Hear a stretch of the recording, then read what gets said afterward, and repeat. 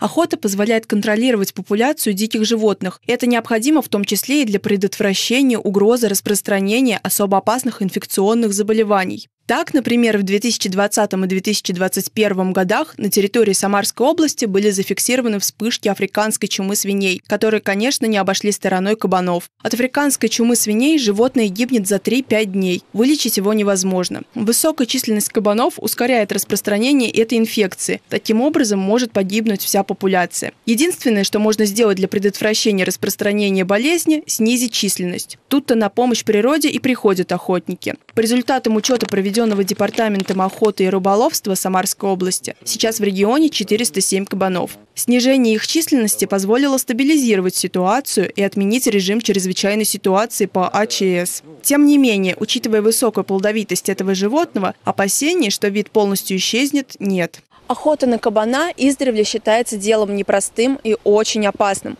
В первую очередь это связано с тем, что у животного прекрасный слух, и в случае опасности он может напасть из-под тишка. Существует два популярных вида охоты на кабанов. Коллективная, когда загонщики направляют животное в сторону стрелков, и охота с вышки, когда животное выходит на место прикормки.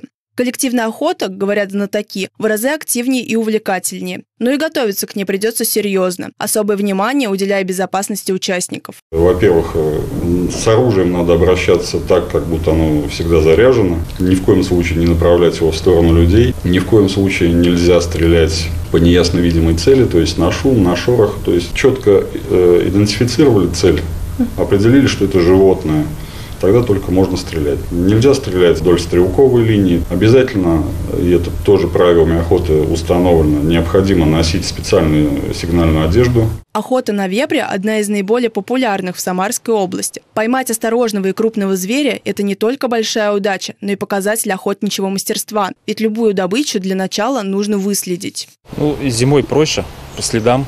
Летом тяжело, потому что сейчас э, все в листве, трава высокая. То есть, если даже он, кабан пробежит тебя метров 10, ты можешь его просто не заметить из травы, из высокой. Кабан считается предком свиньи. Однако, в отличие от домашнего животного, дикий зверь прекрасно защищен от недоброжелателей. От природы ему досталось два крупных бивня, толстая шкура и мощный скелет. Взрослая особь может достигать 300 килограммов, и в случае добычи крупного животного память о таком трофее останется у охотника на всю жизнь.